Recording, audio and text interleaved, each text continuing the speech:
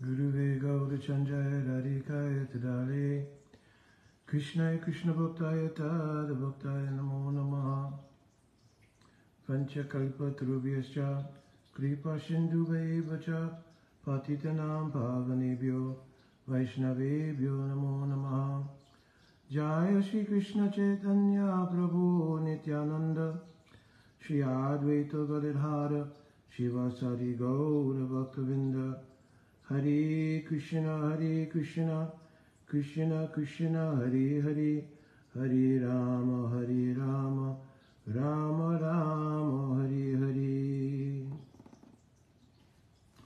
Dandavat Pranam devotees. So I am um, responding to a question that came in um, from a devotee who asked that in a previous lecture, I'm not sure exactly which lecture, um, they heard me mention that the word, the English word love, that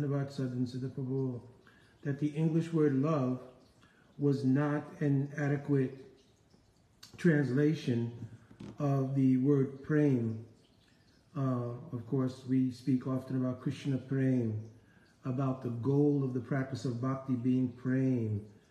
And so, of course, the only available translation, so to speak, uh, to give some indication of that has been love. But I mentioned that my Gurudev, Nitalila Pravishtom Vishnupara Paramanksa, Stutara Saptasisamad, Srila Bhakti Vedanta Narayan Goswami Maharaj, and not only my Guru Padapadma, but our Srila Prabhupada and others, uh, Vaishnavas, realized Vaishnavas, have also mentioned the inadequacy of the word love as a true translation of the word prem. And so the devotee was asking why, because is not uh, prem actually love of God, because that's how we translate it. So what uh, has been mentioned by our Guru Vargas is that prem is actually, first of all, an absolutely transcendental reality without any tinge of material influence.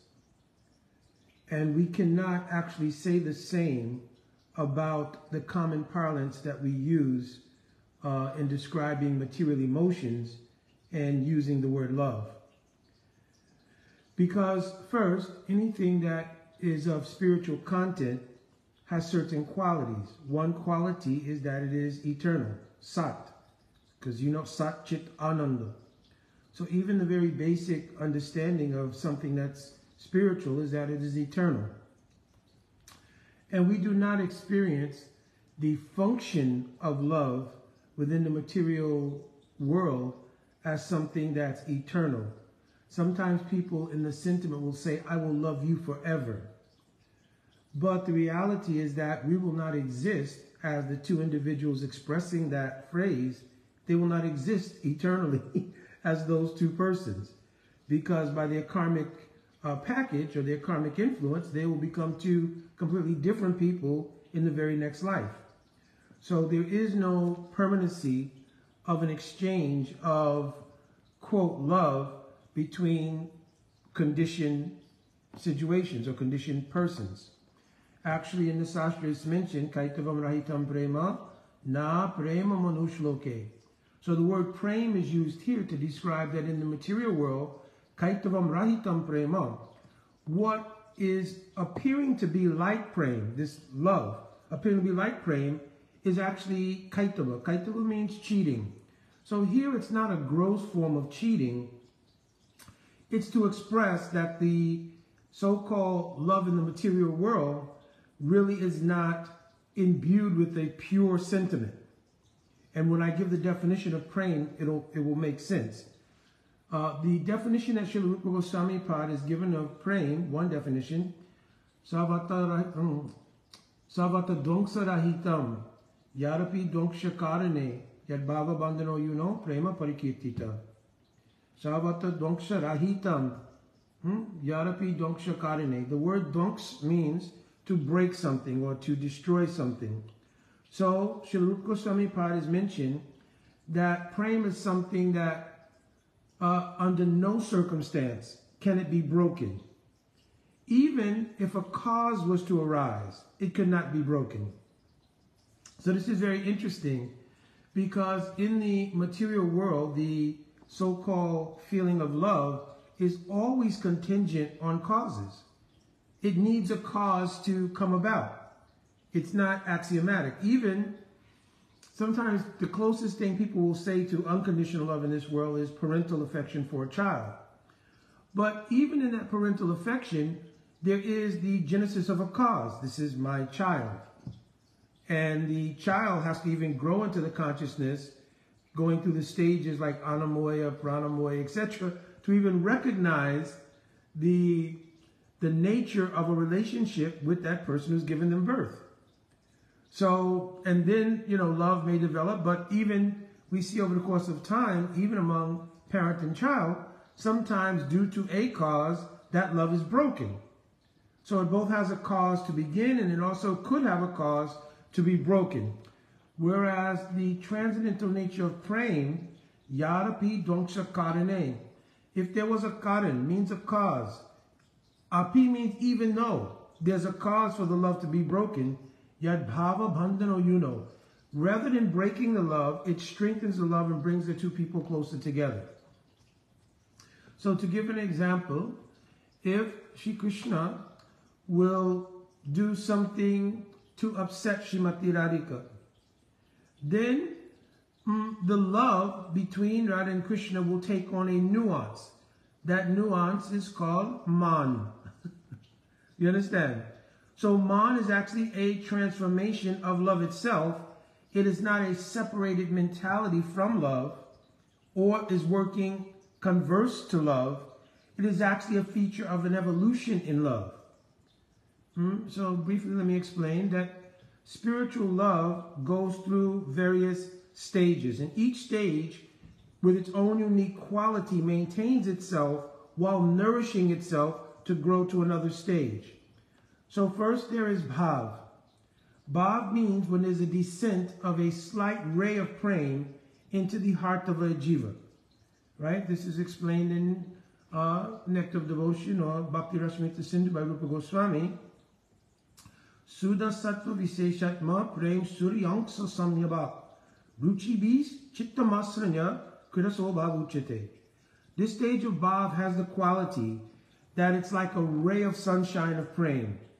And when it enters the heart, it expands the ruchi. Ruchi means like the particular unique taste a person has towards Shri Krishna and Shrimati Radhika. It, it completely nourishes that ruchi, and by that ruchi, ruchi be chitta masranya. Chitta means the consciousness of the conditioned soul. In their chitta is so many material impressions and sanskars. When this ray of prem, called bhavarati, enters, it melts away. Uh, chitta masranya, masranya means to melt. It melts away any alternative or false identities related to the jiva and reveals the true nature in combination with that particular unique taste one has towards God, their spiritual identity. So this is called Rati Abhav, and this is the initial stage of prem. In the material body, because of the nature of prem and the nature of the uh, transformative qualities that come with prem, the material body is not suited to, to deal with it. Therefore, in the material body, prem cannot be housed in full. So when one comes to the point of making their transition and they have come to the stage of Bhav, then in the next life, wherever Sri Krishna is performing his lila within the material universes, that soul will take birth there and according to the nature of their particular rasa will get a form that is called Vastu Siddhi means a form composed of actual spiritual elements. Right? The soul already is Sat, Chit, and Ananda. But when Bhav comes, that soul's quality of Satchitananda will become absolutely one with the spiritual substances called Samvit, Sandhini, and Ahladini. Sometimes devotees think this is one and the same thing, but it's really not. Satchitananda means eternity, the principle of cognition, and a state of Ananda. In the conditioned souls, that Ananda, Jiva Goswami Pad is written in Paramatma Sandarbha, he quotes one verse, Chit Ananda Atmaka. And he explains that Ananda here means the state of the soul is uh, the antithesis, because he quotes Dukkha Pratiyogita. And this word Pratiyogi is coming from one uh, school of thought called Nyaya. And Pratiyogi means the opposite of something. So he's saying the soul, in its very nature, is the opposite of misery, which means there is no misery in the Atma itself. I've explained this many times, that misery is a vicarious arrangement between the individual soul and its identification with the avidya shakti and hence the material elements. So there is no actual misery in the soul itself. It comes from that connection of vicarious identification with the material energy. So it's not that the state of Ananda is exactly the same as the state of the influence of the spiritual energy called Ahladini Shakti. The Ahladini Shakti is a vritti of prem. and that function of prem evolves. It's nourished by itself and it evolves itself through various stages.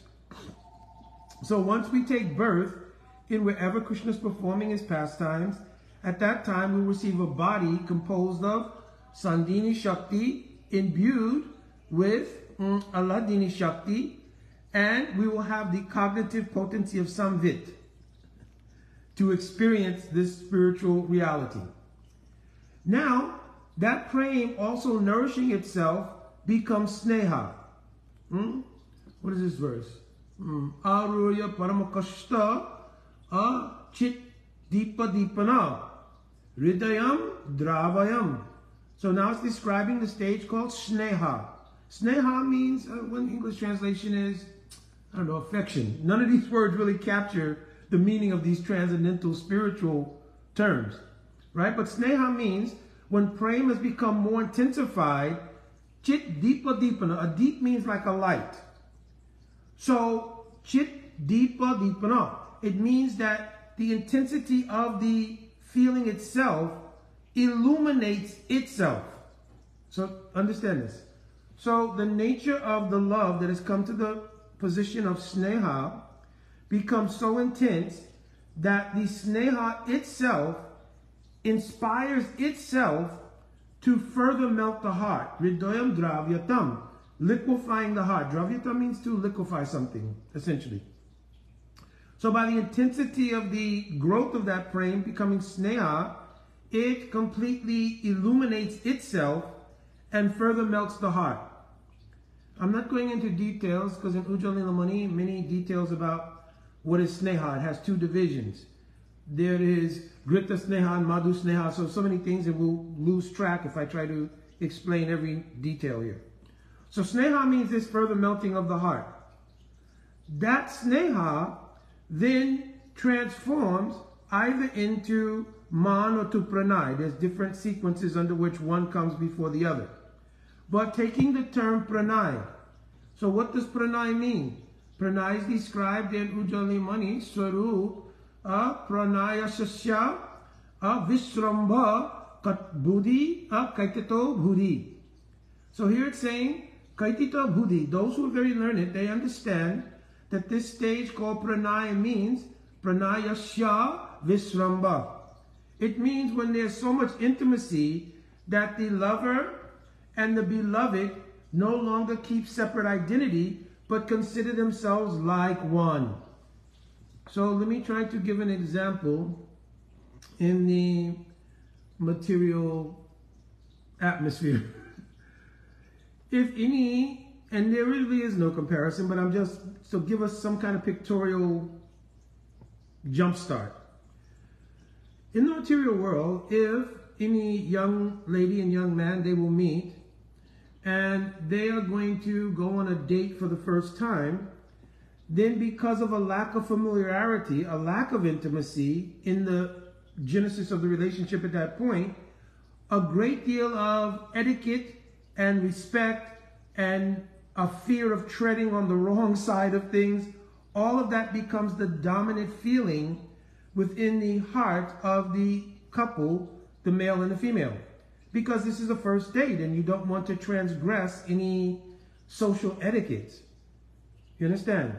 But as the relationship begins to grow, there is an organic and natural unfoldment of a kind of intimacy. And in that intimacy, there's a kind of familiarity. So, for instance, on the second, third date, I'm only, I'm, this, I'm not speaking from recent experiences. Obviously, I've been married, uh, I don't know how long now, 28, 27 years. So, but in that arrangement of the of the growth, there comes a point in the unfoldment where you feel comfortable to hold hands. Then you may feel more comfortable to embrace. Then you may feel more comfortable to exchange a kiss or something. So in this way, gradually there's a intimacy and familiarity that's organically growing. So the position of pranaya is like this. You understand? Except that it has generated from the intensity of sneha. Then that pranay, because of intimacy, can lead to states where ahili premana goti swabhava kutila bhavet. When it can become, ahi means a snake. So that feeling can take on some crookedness. And this crookedness is called man. because of the familiarity, then either hetu or ahetu means with a cause, without a cause. Sometimes a crookedness will take place in the unfoldment, and there will be a reason or not, right? Either contrived reason or an actual reason for the couple now to be separated. But the intensity of their desire to be together is still there. But circumstances, either contrived or actual, create a situation in which they are separated. This situation is called man. So you can see just from these explanations of Srila Rupa Goswami Pad and Ujjayi Muni that prem has so many functions which are not at all present or captured by the term love. If you ask in the world uh, to define love, people really will maybe give out a bunch of different emotional um, feelings, so to speak. Well, love is when you completely feel good about somebody, or you you get butterflies in your stomach, or of course that could be indigestion as well. but anyway, I'm joking here. But the point being that there is no defined uh, quality, so to speak, and therefore, some people will say, well, love can't be described. It's a feeling. You understand? But the point being that because it is not an actual spiritual substance, and because it's temporal, and because it's born or, or generated from material consciousness, it's not real enough to have a substantive definition. So please don't don't become depressed here. Oh, does that mean I don't love my husband or I don't love my children? No, because there is a such thing as real love, spiritual love. There certainly has to be a reflection of that in the material world. Instead, just like everything in the material world, the nature of relationships, the nature of everything is simply a perverted reflection of what's in the absolute reality. So there is a reflective quality of spiritual true love in the material world but as I mentioned from the verse I quoted, kaitavam rahitam prema, basically it's uh, now kaitava here, the word kaitava in Sanskrit means cheating. But here it does not mean necessarily cheating with malice. It means it's just not substantively real because our identities in these bodies is not eternal. And therefore, because the very nature of love being spiritual, as I mentioned in the beginning, is an eternal phenomenon, we cannot truly call it love. So therefore, our acharyas have said it's kaitava. You understand? Kaitava means it's a kind of cheating because it's not substantively real. Now, I do want to make one caveat here that Shrup Goswami Pad in uh, Upadeshamrita, means Nectar of Instruction, he has described the Datti Pratagrinati Guyamakyati Prichati Bhukte Bojayate Chaiva Sadvidam Priti Lakshanam. He's described that the exchanges that go on between those in whose lives Sri Krishna is the center, their exchanges are imbued with the Lakshan quality of Priti, of love. So then Mukunda, how could that be? Because aren't even those who are practicing, aren't they still technically in conditioned life? Even though they may be at some particular level still of unfolding from conditioned life, because they have established the center of their affection as Sri Krishna, then from the watering of that root, the tree of their association with others who have put Krishna as a center will carry the quality of Priti. Therefore, in Vaishnav Maitri means Vaishnav friendship, there is the quality of love. And six symptoms of that quality are Dadati Pratagrinati, Guyamakiti Prachuti, etc. Right? Means giving gifts, receiving gifts, exchanging confidences, revealing confidences, honoring prasad, giving prasad. There's very detailed meanings to these things as well. I'm not going there now. But so the quality of prem is present in those relationships in which Sri Radhakrishna, Chaitanya Mahaprabhu, Hari Guru, and Vaishnava the center. You understand? So, but as I was describing, these functions and how love elevates itself in a spiritual context is not present in the so-called exchange of feelings in the material world called love. Also, the very um, quality of the eternal function of the love. I mentioned that Rupa Goswami has given a definition, Savata Donksarahitam. Under no condition can it be broken. Well, you see that in the material world, people can be in love for two months, and in month three, they can hate each other. So, so obviously, the quality of what is exchanged in this world as feelings certainly doesn't meet that definition of Savatadung Saraitam. Rather, extremely, it can go to the opposite polarity. You can be in love with somebody for one, two months, and then in the third month, hate could arise. And even some people will be in a relationship for 15, 20 years, and then some discord will come in which they are separated, and that quote feeling is no longer there. And additionally, the so-called feeling of love is so malleable in the material world that it can go from one person to another. Oh yes, I was in love with this person for two years, but then now I'm in love with this person. Whereas the love of God, true love, is always centered and stays centered in the absolute truth, and there is no other deviation from that. Understand? In the spiritual dimension, all the love of the residents of the spiritual world is centered in Sri Krishna. Hmm? Rupa Goswami also gives a definition when the conditioned soul comes to the stage of their perfection, it is called a sthayi bhav. It means a permanent fixed emotion. And that sthayi bhav has been described. Sthayi bhava utrasa prokta Sri Krishna Vishayini Rati. That this feeling, this permanent sentiment, the object, the only object of it is Sri Krishna Vishayini Rati. The Vishaya, or the object of that love, is Sri Krishna. So of course, here, Sri means Radhika. So it means Radha and Krishna are the focus. And of course, the form of Chaitanya Mahaprabhu is directly the form also of Radha and Krishna. Understand? Krishna tasting the mood of Radhika is called Chaitanya Mahaprabhu.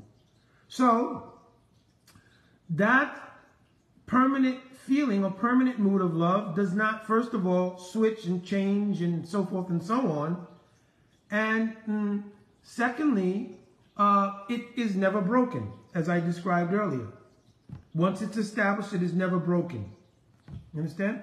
Only any lila or pastime will strengthen the love. You understand? And then if you study Ujjwala Mani, many high-class definitions go from there. Like from pranay and from man, you come to rag. Dukam adikam chitte shukatvaina evarujayate.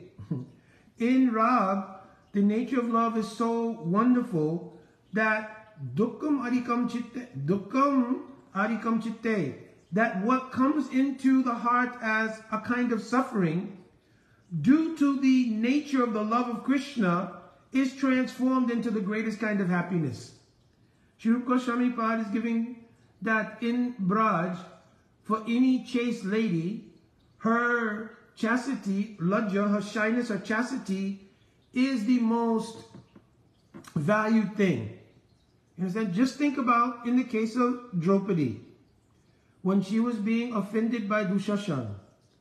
At that time, um, Draupadi, with everything she had, was trying to protect herself before she simply held up her hands and said, Hey, Govinda.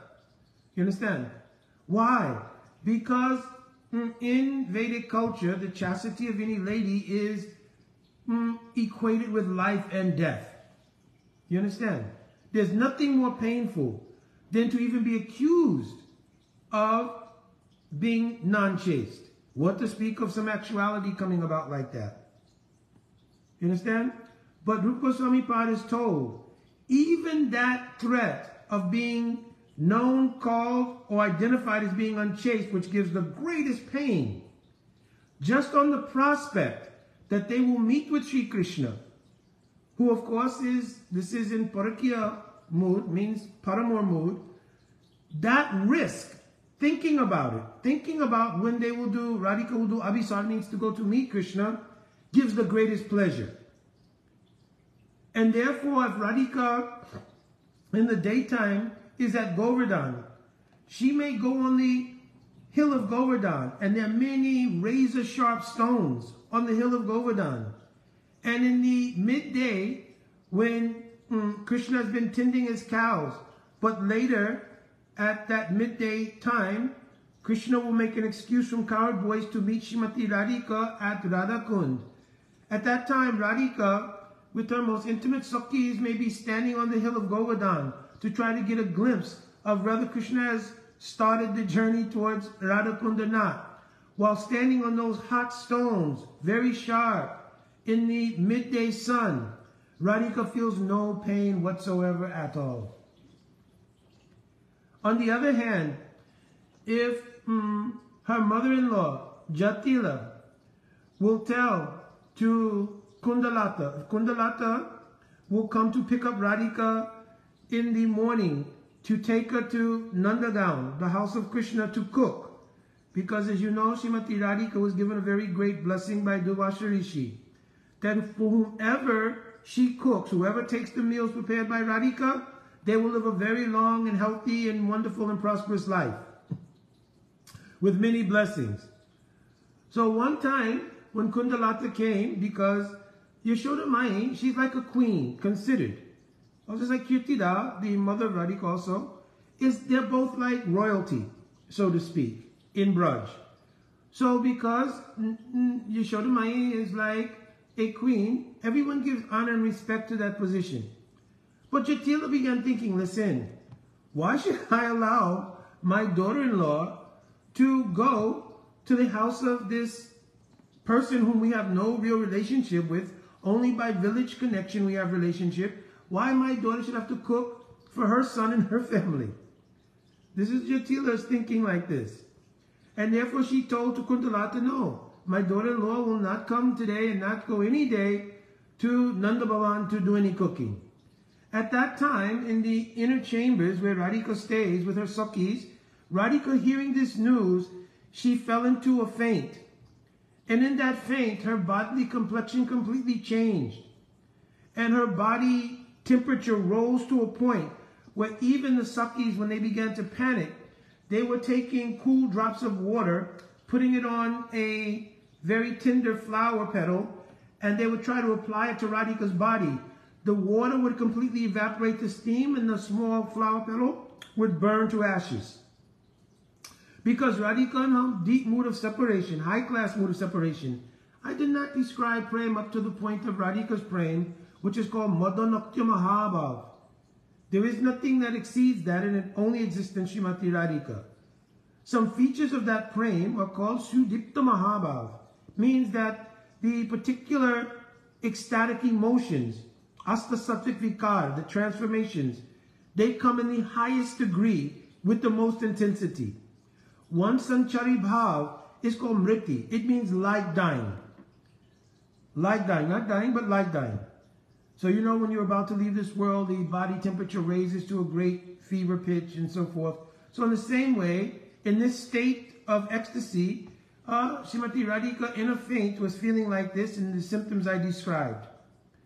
So at that time, uh, when Jatila came to inquire what was wrong, the Sakhis told, oh no, what has happened is that Radhika was picking any flowers, and when she was picking the flowers, to do the Surya Puja because every day Radhika and Sakhis will go to the temple of Surya Dev to do worship and Jatila, her mother-in-law, will think this is for the welfare of our family. My son, hmm, Abhimanyu, and so forth. He will receive blessings by Radhika's faithful worship of Surya Dev. So he says, while she was picking the flowers, she was bitten by one snake. So Radhika Sakhis are very expert. And they told to Jatila yeah, she was bitten by one snake. What snake? Oh, they understood that was the snake of the deep separation from Sri Krishna. But Jatila thought she was bitten literally by a snake. And I think I will go too long if I try to hold pastime, but uh, there are many beautiful, beautiful pastimes. Chamatkar Chandrika Vishwanath Chakravarti Thakur And he tells the whole story about um, how this Leela unfolds. And Krishna himself comes disguised as one doctor and the whole Leela unfolds and Jatila's mind is changed. Understand? But this is the nature of the beauty of the highest class of love manifested in Shrimati Radhika.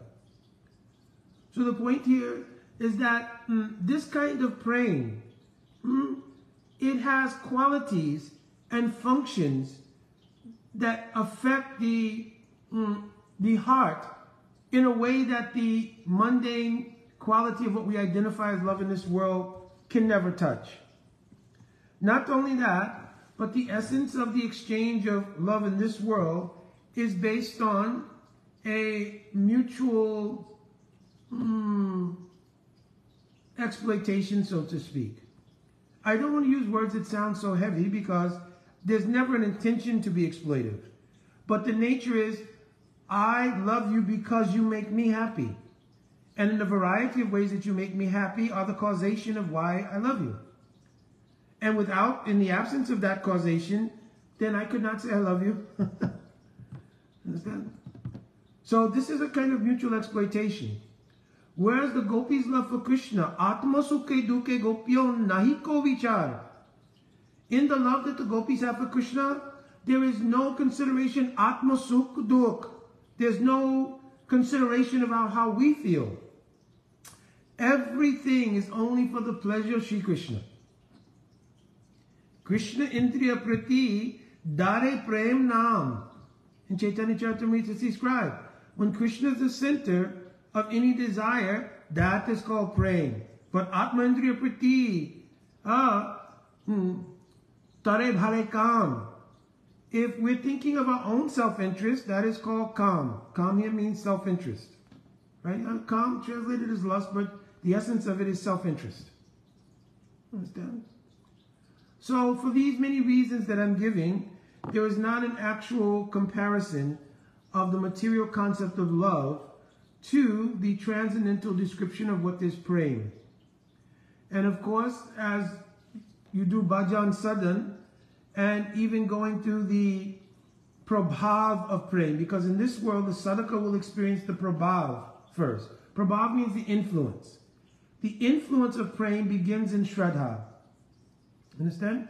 When a person comes to, by their previous bhakti impressions, or by good fortune of somehow or another, they come to the position called mati. Mati means like the, the, the position in which you can discern that the material world is not the all in all.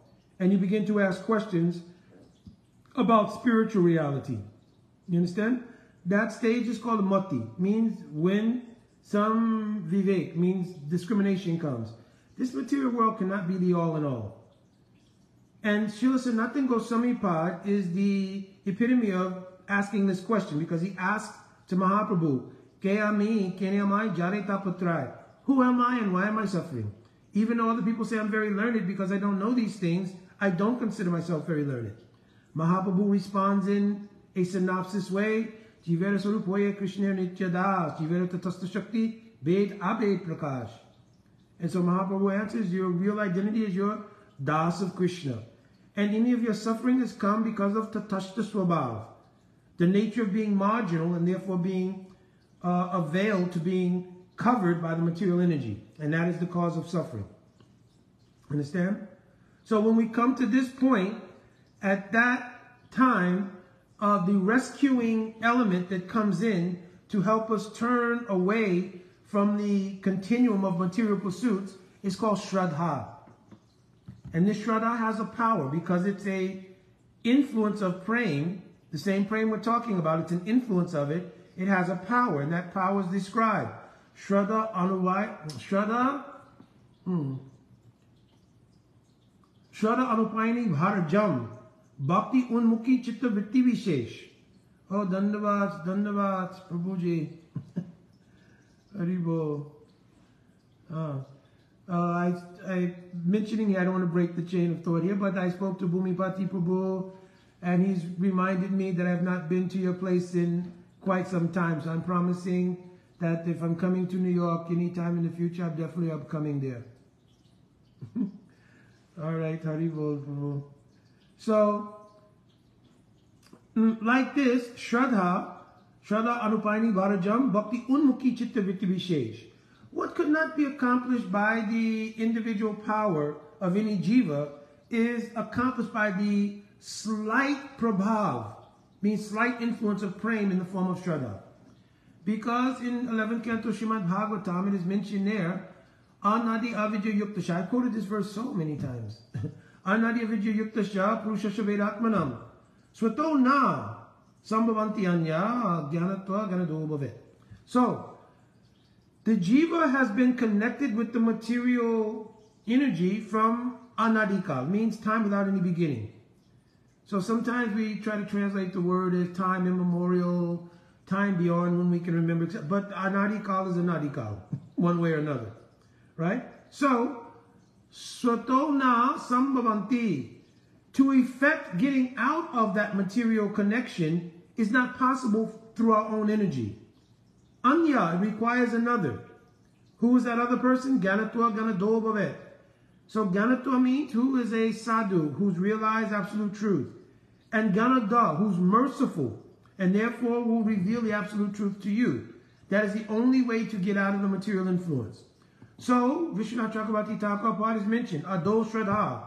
When that mukti stage arises, and the jiva wants to know what else is there besides this material world. It's at that time, by the mercy of Bhagavan, Brahmanda Brahmati Kon Bhagavan Jeev Guru Krishna Prasadhe Bhai Pai Bhakti Latavij, that a sadhu comes into the purview of that particular jiva. Then by the influence of that sadhu, Shraddha arises. And then Bhakti Unmukhi Chitta Vritti Visesh. Then one turns their, their interest in life towards spiritual pursuit and then under the further guidance of that sadhu in their sangha. Sangha here means samyak rupein anugamana. Means to be following that sadhu with humility continuously. Because this is the meaning of the word anu here. Hmm? Anugatya. Samyak rupein anugatya. Or anugamana. Means to continuously follow a sadhu with mm, mm, Humility, because anu here also means anutwa, means feeling oneself to be very insignificant. So that means if you're trying to follow the sadhu, but you're very proud and you have a very challenging disposition, it'll be very difficult to follow in earnest by heart the sadhu. When you're following the sadhu, this is called doing sadhu shanga. When you are doing sadhu shanga, at that time the teaching of the sadhu is given this is called bhajana kriya. I mentioned these things many times before. So he's giving siksha in bhajan, how to perform the mood of service towards God. The Kriya Shakti of Bhagavan subsidizes your understanding and therefore through your senses gives a subsidy of those sensual activities like worshiping the deity, cooking, cleaning, chanting, anything you're doing with your senses, which normally would not be able to have the power to mm, serve Bhagavan, are now subsidized by the Kriya Shakti of Bhagavan. That's why the third stage is called Bhajana Kriya. And now with that influence of the spiritual energy, the Bhajana Kriya, the anarthas can be removed. That stage is called anartha. When they're removed, nishchalaya, uh, yasha iti nishta, then the vacillation of the consciousness of the jiva, his chitta or her chitta, will now be dominated by spiritual influence, and therefore the vacillation that takes place while you're still being challenged by your material impressions from previous lives and the current life begin to wane, and the dominance of the spiritual influence takes place in the chitta, making it steady. In that way, it becomes eligible to taste the nature of the spiritual energy at a stage is called ruchi. You understand? So now your bhajan practice, ataha ruchi bhajan vishai.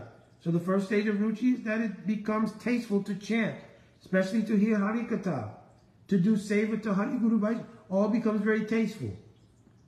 Right? That is a symptom that spiritual influence is taking over the chitta. Then gradually, when that matures, it becomes an attachment that you cannot give up. It is called ashakti. And when the stage of asakti only awaits for the descent of the mercy of Bhagavan in the form of the verse I quoted earlier, uh, uh, Suda Sattva Viseshatma Prem Sri about this verse. And when that Suda Sattva, that spiritual energy, Swarup Shakti descends onto the chitta, at that time, hmm, then Avir Bhuyamano Brito uh, Rajayate Sarupatam hmm, Swayam Prakasha Rupopi Basamana Prakashavat. At that time, Rupa Goswami is writing in uh, Sindhu that when it descends onto the chitta, it takes over the functions of the chitta, and now the spiritual energy itself has become one with the Atma and now operates exclusively on a spiritual paradigm. And it just stays in that mode until in Vastu siddhi, when you take birth, wherever Krishna is performing his Leela, and you receive a body which is just suitable for that. That's described in the first canto, sixth chapter of Srimad Bhagavatam, in Narada Vyasambad, when Narada Muni is speaking to Vyasadeva. He told Vyasadeva, when I became perfect, Prayujamani Mahi Tvam Sudim Bhagavatim. Prabdha Karma Nirvano Anya Patat Panchabodhika. When I became completely purified, at that time, I saw that my all Prabdha Karmas, means all my karmic portfolio, uh, was gone away. And the body of five elements also fell away with it. And at that time, I received a body that was completely suitable. Sudim Bhagavatim Tanu. Tanu means body. Sud body. Pure body. Fit to serve Bhagavan. And Prayuchamane. Prayuchamane is translated as awarded here because Jiva Goswami I read in Kram Sandarbha means that without the mercy of Bhagavan it cannot happen. But another meaning of Prayuj is oneness, tadya. Right? Prayuj. Yuj like yog means connected. Pra means like completely. So to be absolutely completely connected to the spiritual identity and form that you have. It's called prayuj. So in this way, I hope I've been able to describe in many different angles of vision why the term love is not really an adequate translation for prema, but because it's the only available English word, uh, we use it. But we should try to understand the implications of prema according to what I've quoted from Guru Sadhu and Sastra here. Um, there's a question here. Oh, Ramji, you're asking. Oh, vacillating, vacillating. Not uh, the word here. Vacillating means, vacillating or oscillating means going back and forth. When the consciousness is undergoing changes, right, between the material energy and the spiritual energy. And anybody who's in the process of unfoldment in bhakti knows that there are various stages of bhakti, and in different stages of your evolution, you go through different stages of, like Srila Vishwanath Chakravarti Thakur has described 27 things. Six stages of unsteady bhakti. That means when you first come to bhakti, then there's something called Utsamai. Utsamai means in the first week that you come to bhakti, you may be very enthusiastic. It's something new. It's finally the answer to many of your questions. So you have a kind of enthusiasm. But Utsamai means that enthusiasm is kind of a false enthusiasm because it's unsustainable until you actually begin to understand the actual nature of bhakti. Right now, it's just the, the newness and the relief from the sort of anxiety that came from not knowing about bhakti. A newfound enthusiasm has come. I'm practicing bhakti. So that first initial phase is called utsamai. And then that goes to other stages like Vyudavikalpa, mm, uh, Tarangarangini. So I mean, six different stages. You understand? And then you have to deal with four kinds of four natas, five kinds of subtle influence, like loy, vikshepa, pratipati, etc. So I'm not giving class on, on uh, Madhurya Kadambini, but if you read Madhurya Kadambini, all these things are there. Understand? So while we're going through those things, the chitta is actually vacillating back and forth. That's the actual meaning of Vyuda Vikalpa. Right? Vacillating back and forth between material thoughts and spiritual thoughts. So when you come to the stage of Nishta, the dominance of the spiritual energy that has been gleaned from sudden bhajan life and the mercy of Guru, and, right? It, it solidifies, clarifies, and pacifies the chitta. So there's less influence of the material energy. And therefore, a predominance of the spiritual energy that's coming through Harikatha, through your chanting of Harinam, through your seva to Hari Guru and Vaishnavas, becomes dominant in the chitta. And it gives rise to a wonderful taste in all of those things. That stage is called Ruchi. All right, my uh, devotees, all right, devotees, uh, please give me your blessings and your mercy uh, to go on serving Hari Guru and Vaishnava. Uh, today also is the, is it the Tirobhav Tithi? Uh, maybe the Tirobhav Tithi means disappearance day. I'll have to look again. Of Srila Bhakti Rakshak Sridhar Goswami Maharaj, who is a very prominent um, disciple of Srila Bhakti Siddhanta Saraswati Thakur, and was a very dear god brother of our Srila Prabhupada. You can read in so many histories how he was very dear to our Srila Prabhupada. And uh, there's a kind of unique relationship because our Srila Prabhupada uh, loved Srila Sridhar Maharaj like Shiksha Guru and very dear friend. And um, our Param Guru Dev, Srila Bhakti Prajnan Keshava Goswami Maharaj, he received his sannyas from Srila Bhakti Rakshak Sridhar Maharaj, and our Srila Prabhupada received sannyas from Srila Bhakti Prajnan Keshava Goswami Maharaj. so there's very unique connections here.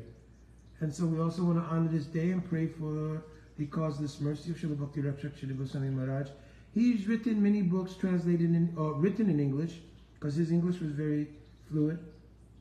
And uh, very wonderful books like Sri Guru and His Grace, Guardians of Devotion, and The Golden Volcano. So he's written many, many helpful books for those who are practicing on the path of bhakti. And there are also many lectures over the course of years that he gave to follow the order of our Srila Prabhupada to help uh, with Srila Prabhupada's disciples in their continued growth. I spoke the other day um, that our Srila Prabhupada uh, manifested his Leela for 11 or 12 years. And even if you were with Srila Prabhupada from day one to his Samadhi Leela, that was 11 or 12 years at the most. And uh, we can see now in our 50th year, 40th year of practice, you know, how, how serious time it takes to develop some understanding genuinely in bhakti. So after 10 or 11 years, of course, I cannot speak to everybody because bhakti samskars are different in everyone. But in general, after 11 or 12 years, there may not have been such great depth of understanding. So Al Srila Prabhupada therefore gave order that uh, especially two persons, he pointed out. One was, of course, his own uh, dear friend and like Shiksha Guru, Srila Bhakti Rakshak Sridhar Goswami Maharaj. And then during the course of his Samadhi Leela, he held the hand of my Guru Padapadma, Srila Narayan Goswami Maharaj, and asked also that you should help my disciples. So I have very many tapes and everything else of the direct experience of that happening, that many devotees had gone to inquire from Srila Sridhar Maharaj and of course from my Srila Gurudev uh, to understand deeper concepts in bhakti. And uh, neither Srila Sridhar Maharaj nor my Guru Padapadma had interest to uh, gain, gain anything from that, simply to follow the order of their very dear friend. And uh, in my Guru Maharaj's case, my Guru Maharaj considered Srila Prabhupada his Shiksha Guru, just as Srila Prabhupada considered Srila Bhakti Rakshak Sridhar Goswami Maharaj his Shiksha Guru, and his very dear friend Srila Bhakti Prajnan Keshava Goswami Maharaj and his Sannyas Guru. So like this, there was no other motive except among them to carry out the order that was given by Srila Prabhupada before his Samadhi Lila and during his Samadhi Lila. Understand? So, all right, my Dandavat Pranam. पंचकल्पतरुभ्यश्च कृपश्चिन्दुवे वचा पतितनां पावनेभ्यो वैष्णवेभ्यो नमो नमः जय राधे राधे